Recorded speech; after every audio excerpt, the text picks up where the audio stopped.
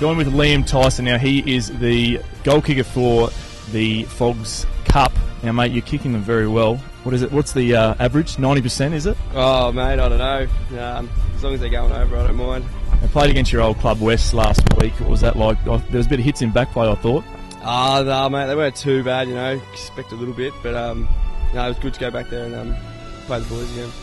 Now, I don't know if you can see this on uh, on tape here, but he's got a bit of an eye injury, and uh, he came to training after a weekend out, and I think his missus is just he's dead set clopped him one. Can you, can you explain that, mate? What did you do? Oh, that's a dead set stitch up. Um, no, mate, just all happened on the field, eh? Uh, just a head knock. That's it. There's no story behind that at all. Now we're uh, three from four, only one draw.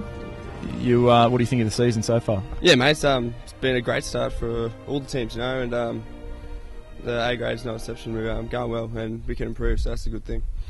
Thanks, mate. Enjoy the weekend.